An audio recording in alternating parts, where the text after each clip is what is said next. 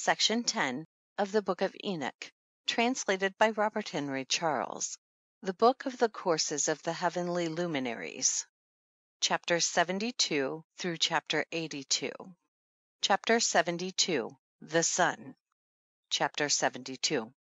The Book of the Courses of the Luminaries of the Heaven, the relations of each, according to their classes, their dominion and their seasons, according to their names and places of origin, and according to their months, which Uriel the holy angel who was with me, who is their guide, showed me. And he showed me all their laws exactly as they are, and how it is with regard to all the years of the world, and unto eternity, till the new creation is accomplished which dureth till eternity. 3. And this is the first law of the luminaries. The luminary the sun has its rising in the eastern portals of the heaven, and its setting in the western portals of the heaven. 4. And I saw six portals in which the sun rises, and six portals in which the sun sets, and the moon rises and sets in these portals. And the leaders of the stars and those whom they lead, six in the east and six in the west, and all following each other in accurately corresponding order. Also many windows to the right and left of these portals. And first there goes forth the great luminary named the sun, and his circumference is like the circumference of the heaven, and he is quite filled with illuminating and heating fire. The chariot on which he ascends the wind drives, and the sun goes down from the heaven and returns through the north in order to reach the east, and is so guided that he comes to the appropriate (literally, that portal) and shines in the face of the heaven. In this way he rises in the first month in the great portal which is the fourth, those six portals in the cast. And in that fourth portal from which the sun rises in the first month are twelve window openings, from which proceed a flame when they are opened in their season. When the sun rises in the heaven, he comes forth through that fourth portal thirty mornings in succession, and sets accurately in the fourth portal in the west of the heaven. And during this period the day becomes daily longer, and the night nightly shorter to the thirtieth morning. On that day the day is longer than the night by a ninth part, and the day amounts exactly to ten parts, and the night to eight parts. And the sun rises from that fourth portal and sets in the fourth, and returns to the fifth portal of the east thirty mornings, and rises from it and sets in the fifth portal. 12. And then the day becomes longer by two parts and amounts to eleven parts, and the night becomes shorter and amounts to seven parts. And it returns to the east and enters into the sixth portal, and rises and sets in the sixth portal one and thirty mornings on account of its sign. On that day the day becomes longer than the night, and the day becomes double the night, and the day becomes twelve parts, and the night is shortened and becomes six parts. And the sun mounts up to make the day shorter and the night longer, and the sun returns to the east and enters into the sixth portal, and rises from it and sets thirty mornings. And when thirty mornings are accomplished, the day decreases by exactly one part, and becomes eleven parts, and the night seven. And the sun goes forth from that sixth portal in the west, and goes to the east and rises in the fifth portal for thirty mornings, and sets in the west again in the fifth western portal. On that day the day decreases by two parts, and amounts to ten parts, and the night to eight parts. And the sun goes forth from that fifth portal and sets in the fifth portal of the west, and rises in the fourth portal for one and thirty mornings, on account of its sign, and sets in the west. 20. On that day the day is equalized with the night, and becomes of equal length, and the night amounts to nine parts and the day to nine parts. And the sun rises from that portal and sets in the west, and returns to the east and rises thirty mornings in the third portal and sets in the west in the third portal. And on that day the night becomes longer than the day, and night becomes longer than night, and day shorter than day, till the thirtieth morning, and the night amounts exactly to ten parts and the day to eight parts. And the sun rises from that third portal and sets in the third portal in the west, and returns to the east and for thirty mornings rises in the second portal in the east, and in like manner sets in the second portal in the west of the heaven. And on that day the night amounts to eleven parts, and the day to seven parts. And the sun rises on that day from the second portal and sets in the west in the second portal, and returns to the east into the first portal for one and thirty mornings, and sets in the first portal in the west of the heaven. And on that day the night becomes longer and amounts to the double of the day, and the night amounts exactly to twelve parts and the day to six. And the sun has therewith traversed the divisions of his orbit, and turns again on those divisions of his orbit, and enters that portal thirty mornings and sets also in the west opposite to it.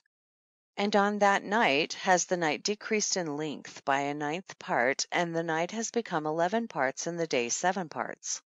And the sun has returned and entered into the second portal in the east, and returns on those his divisions of his orbit for thirty mornings, rising and setting.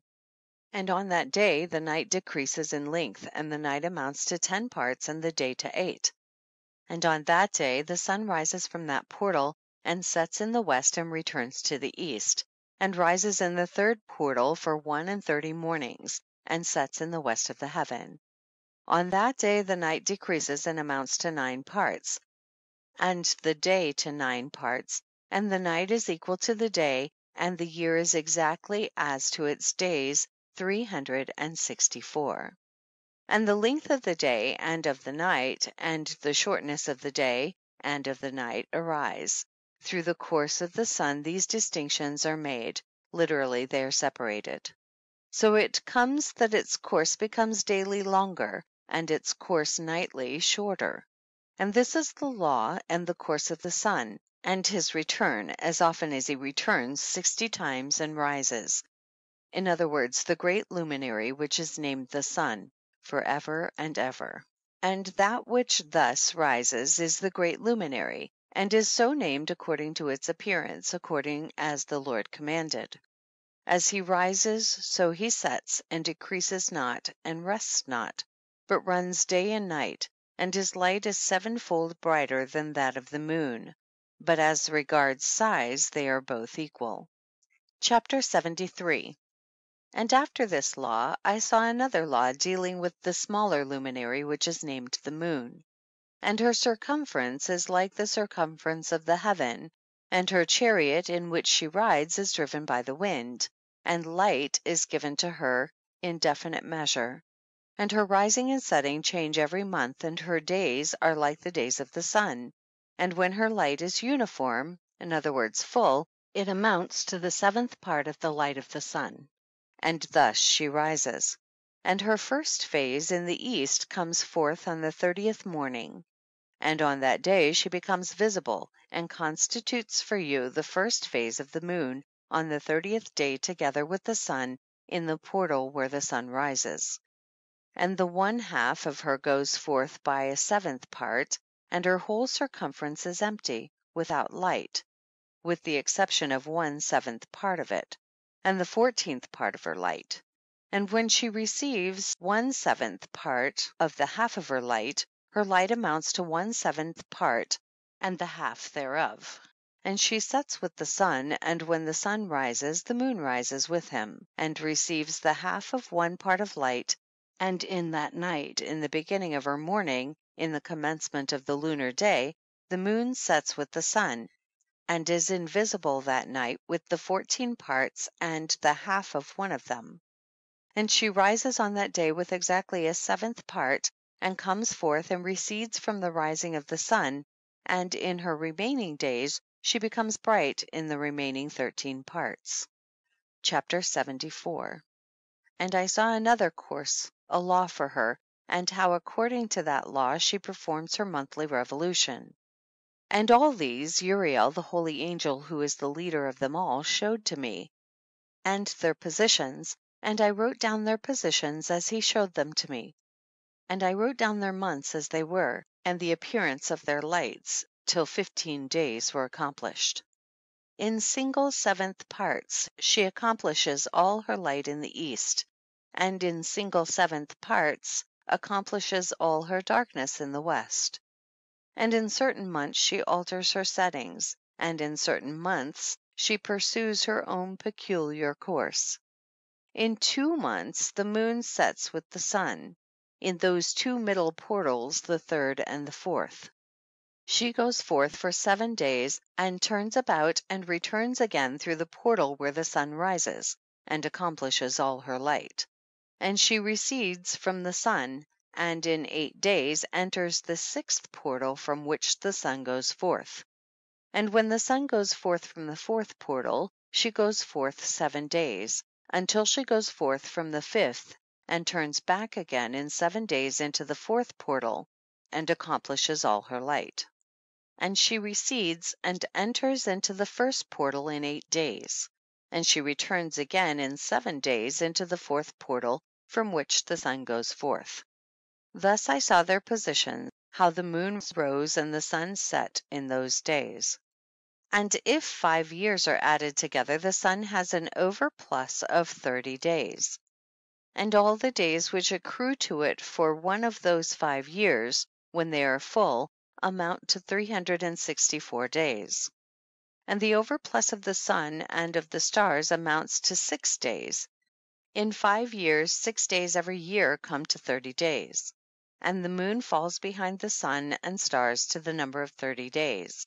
And the sun and the stars bring in all the years exactly, so that they do not advance or delay their position by a single day unto eternity but complete the years with perfect justice in 364 days.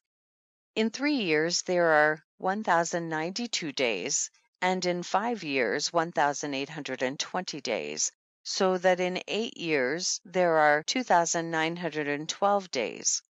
For the moon alone the days amount in three years to 1062 days, and in five years she falls 50 days behind. In other words, to the sum of 1,770 there is to be added 1,062 days. And in five years there are 1,770 days, so that for the moon the days in eight years amount to 2,832 days. For in eight years she falls behind to the amount of 80 days. All the days she falls behind in eight years are 80 and the year is accurately completed in conformity with their world stations and the stations of the sun, which rise from the portals through which it, the sun, rises and sets thirty days. CHAPTER 75 And the leaders of the heads of the thousands, who are placed over the whole creation and over all the stars, have also to do with the four intercalary days being inseparable from their office according to the reckoning of the year, and these render service on the four days which are not reckoned in the reckoning of the year. And owing to them men go wrong therein, for those luminaries truly render service on the world stations, one in the first portal, one in the third portal of the heaven, one in the fourth portal, and one in the sixth portal, and the exactness of the year is accomplished through its separate three hundred and sixty four stations. For the signs and the times and the years and the days, the angel Uriel showed to me, whom the Lord of glory hath set for ever over all the luminaries of the heaven, in the heaven and in the world, that they should rule on the face of the heaven and be seen on the earth, and be leaders for the day and the night, in other words, the sun, moon and stars, and all the ministering creatures which make their revolution in all the chariots of the heaven. In like manner twelve doors Uriel showed me, open in the circumference of the sun's chariot in the heaven, through which the rays of the sun break forth. And from them is warmth diffused over the earth, when they are opened in their appointed seasons. And for the winds and the spirit of the dew, when they are opened, standing open in the heavens at the ends. As for the twelve portals in the heaven at the ends of the earth, out of which go forth the sun, moon and stars, and all the works of heaven in the east and in the west. There are many windows open to the left and right of them, and one window at its appointed season produces warmth, corresponding as these do, to those doors from which the stars come forth according as he commanded them, and wherein they set corresponding to their number. 6. And I saw chariots in the heaven, running in the world above those portals in which revolve the stars that never set. And one is larger than all the rest, and it is that that makes its course through the entire world. End of Section 10. Read by C. J. Plogue.